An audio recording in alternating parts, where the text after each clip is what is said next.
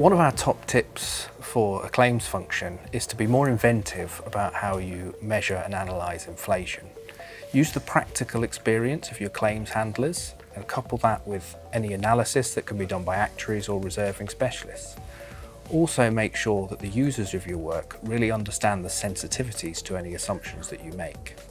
If you can look for historical relationships between different types of inflation, you'll be better able to bring in information from government analysis or from any market analysis that's done and make sure that your assumptions are really applicable to your company.